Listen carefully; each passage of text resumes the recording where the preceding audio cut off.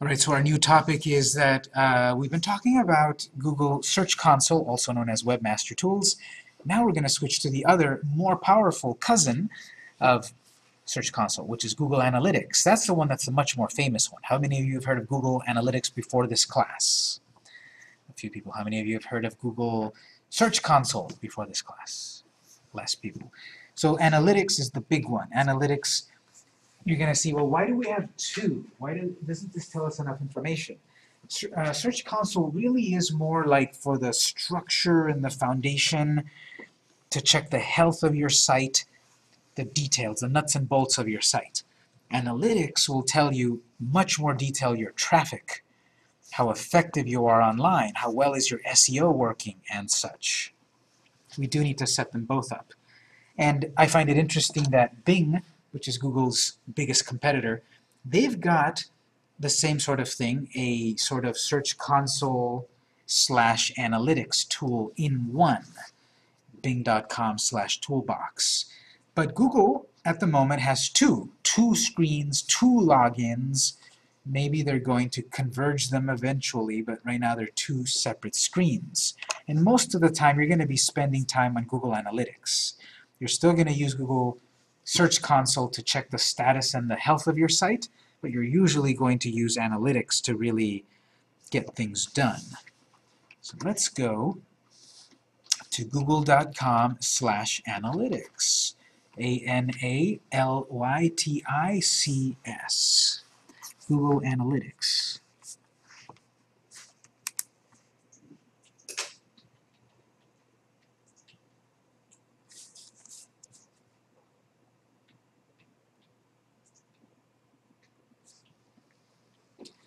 Let's go to Google Analytics.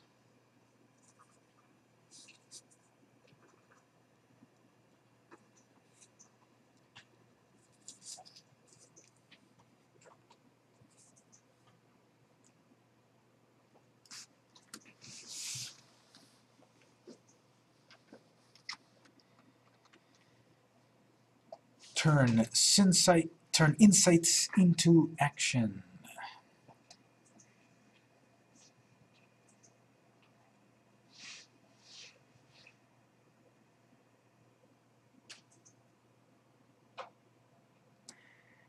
They've recently, this year, added brand new features that I also have to educate myself in, such as Google Premium.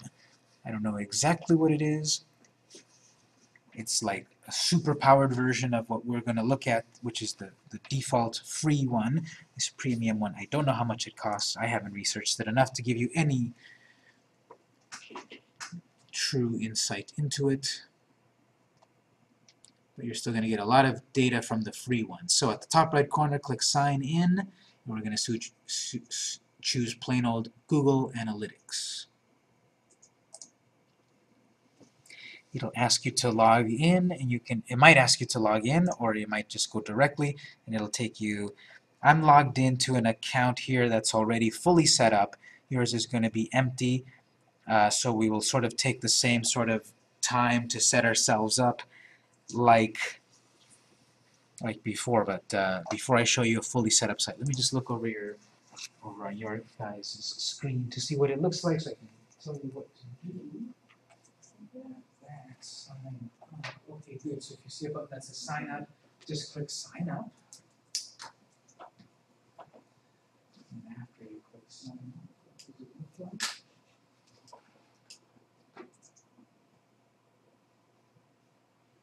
you're going to see probably a lot of little boxes to fill in.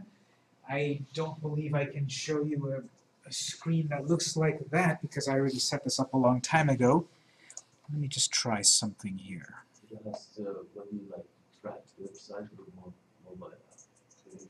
Hmm.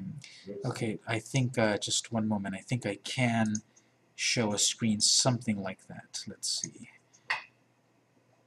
Okay, does it look something like this? Account name, mobile app, website name and such? Okay, good. So here's what we want. Um, very much like webmaster tools, like Search Console, are you going to track the data of a website or a mobile app? You most likely don't have a mobile app. We'll do website. Now I do have to say, unfortunately, if you've got a WordPress.com website, you cannot do this. Google Analytics does not integrate with WordPress.com at the moment.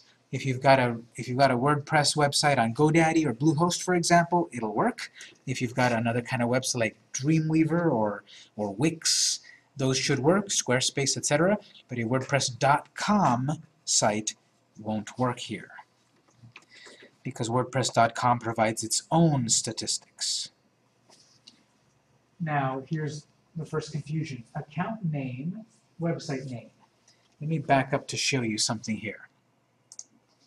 Once you've got this fully set up, you can track the data of a variety of websites organized into folders. Each of these folders is what that screen is asking for an account name. Because, for example, with a particular client, let's say vmcinc.net, I can track the data of my main website and the YouTube channel.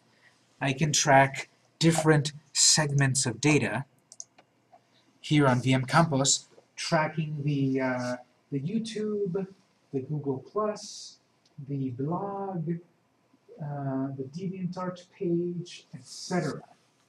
So this folder, the terminology is an account. These particular then sub-elements, these are, I believe they call it properties or uh, website URL. Okay, yeah, property, right there. So the account is the folder, the way to organize. And then the actual properties are, is it the website? Is it the blog? Is it the YouTube page? What data are we tracking? So accounts are the topmost level of organization and contain one or more tracking IDs, or properties. So I'm going to say I'm creating a brand new account for my website. I'm just going to call this Victor's Web Designs. What's the website name or property and its address? So maybe I'm writing here main website and I'm putting in the address victorswebdesigns.com. Because then later I can create another one called YouTube page and so it's a YouTube address. I can put in here blog site and put the blog link. That's the confusing aspect of this. The account name is the folder, and then the property is what website are you tracking. But I'm sorry, why do you put in the main website as your website name? Because once you've got it organized, like in this example over here, the account is this, and then the website name is DeviantArt, the main site, the YouTube, the Google+. Plus. So That's the name that appears there. Right, but where does it say your main website? In this example, it doesn't say main website, but it would be right here. You can name these what you want, but over here, let's I mean, I'm just trying to like understand, I mean, it, it seemed so like.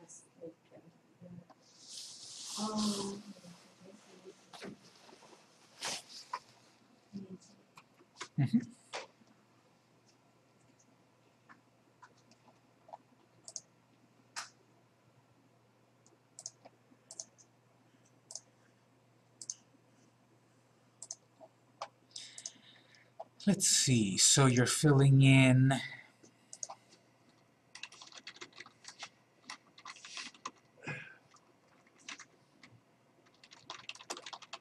you're filling in that address. Industry category. These are um, there's a bunch of options there. You should choose the one that fits the best so that it can show you your data most accurately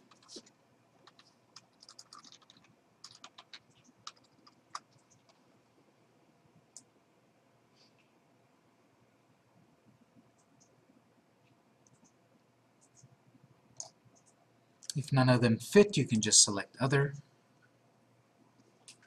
Set your time zone, data sharing settings. This is going to collect a lot of information of your traffic. Uh, would you like to then share this data with other aspects of Google? You won't get any penalization or anything if you turn them all off, but, and they're all recommended, but we've got Google products and services. Would you like the data from analytics to also be used or shared on other products of Google? Would you like your data to be collected anonymously and used to create benchmarking, benchmarks? Would you like to, if, if you need tech support from Google, would you like to let them view your data?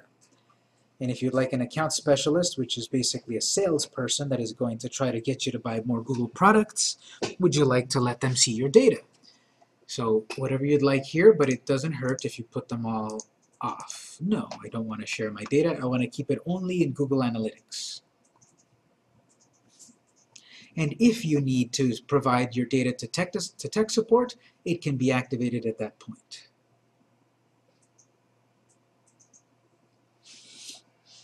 So notice in this particular account, we've got 15 accounts set up, up to 100. Click Get Tracking ID. If you're setting this up the first time, it may ask you like seven more questions than mine does. I, not, I might not be able to show that. But if it asks you a bunch of extra questions like how many people work in your company, you know, fill all that in as best as possible, which it can be edited later. But fill in all the information and then eventually you'll have Get Tracking ID.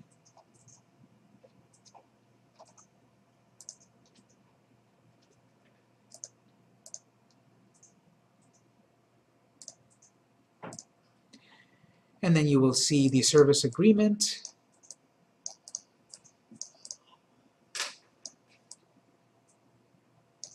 which you want to accept. If you don't want to use any of this, you have to say no, I don't accept, and then you can't use it.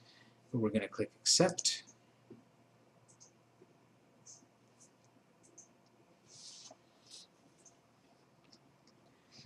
And then you'll get um, this new screen, and I'll talk about the different screens in a moment. But uh, you get this tracking ID. This particular code is the unique code of your particular property, which is your website. And what it says, in order for us to be able to track your traffic, please add this code. It's all of this chunk right here. This chunk of code, it says to get all the benefits, copy and paste this code into every web page you want to track. If you're using software like um, WordPress, this can be very easy to do because WordPress is based on templates. You add this code to your template and it will copy this to all your pages. If you're using a more traditional way, unfortunately, like Dreamweaver, you have to make sure you copy this page, this code into all of your pages in order for it to work properly. You also have a way of using PHP code, which is this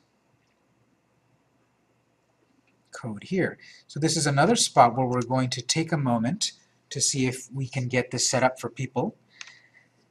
Uh, if we get it set up, there's no button that says verify.